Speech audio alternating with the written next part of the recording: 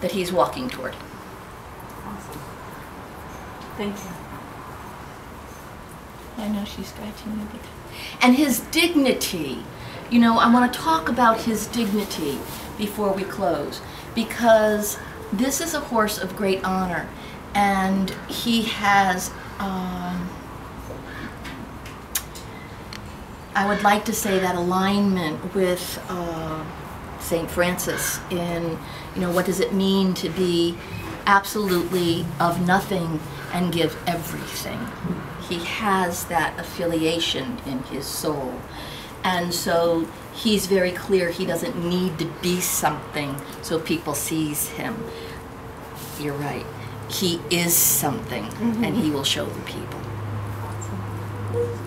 Thank you. Thank you. Sam. Thank you, Callie.